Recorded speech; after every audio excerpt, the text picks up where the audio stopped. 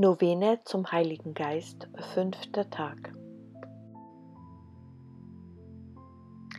Komm herab, o Heiliger Geist, der die finstere Nacht zerreißt, strahle Licht in diese Welt. Komm, der alle Armen liebt, komm, der gute Gaben gibt, komm, der jedes Herz erhält.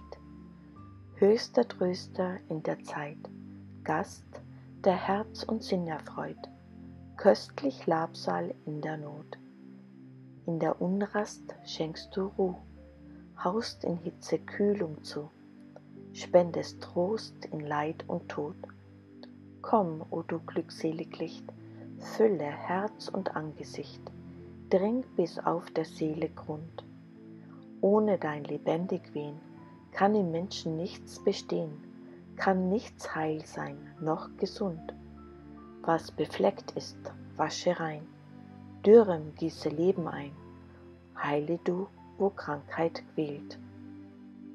Wärme du, was kalt und hart, löse, was in sich erstarrt, lenke, was den Weg verfehlt. Gib dem Volk, das dir vertraut, das auf deine Hilfe baut, deine Gaben zum Geleit. Lass es in der Zeit bestehen deines Heils Vollendung sehen und der Freuden Ewigkeit. Amen. Halleluja. Unsterbliches Licht, göttliches Licht, besuche die Herzen deiner Kinder und erfülle unser Innerstes. Die Gabe der Wissenschaft. Die Gabe der Wissenschaft befähigt die Seele, die wirklichen Werte der gemachten Dinge abzuschätzen in Hinsicht auf Gott. Wissen entblößt die Vortäuschung der Lebenden und entblößt ihre Lehre und bringt ihren einzigen Zweck auf den Punkt im Dienste als Instrument Gottes. Sie zeigt uns die liebende Sorge Gottes sogar im Unglück und leitet uns an, ihn in allen Lebenssituationen zu ehren. Geführt durch sein Licht stellen wir die wahren Dinge an den ersten Platz und preisen die Freundschaft Gottes über alles. Die Wissenschaft ist ein Brunnen des Lebens für den, der sie besitzt.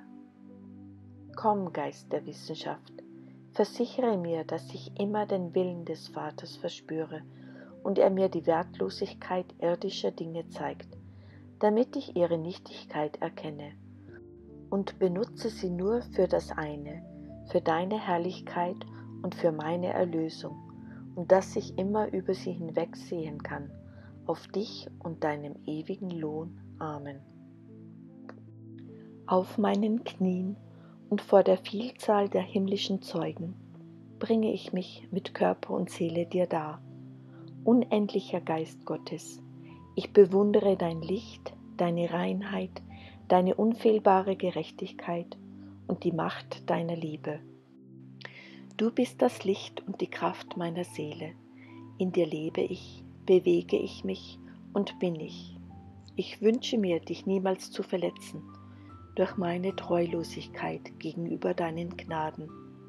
Und ich bete von ganzem Herzen, von der kleinsten Sünde dir gegenüber ferngehalten zu werden.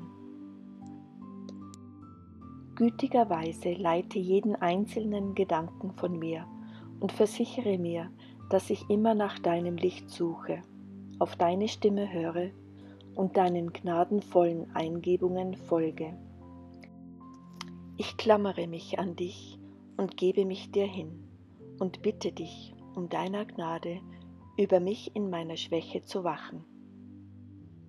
Während ich mich an deine durchbohrten Füße halte und deine fünf Wunden betrachte und auf dein kostbares Blut vertraue, deine durchbohrte Seite und dein verwundetes Herz verehre, bitte ich dich, angebeteter Geist Gottes, Helfer meiner Schwachheit, mich in deiner Gnade zu halten, dass ich nicht gegen dich sündige. Sei mir gnädig, Heiliger Geist, Geist des Vaters und des Sohnes, immer und überall zu sagen, Sprich zu mir, Herr, dein Diener hört dich. Amen.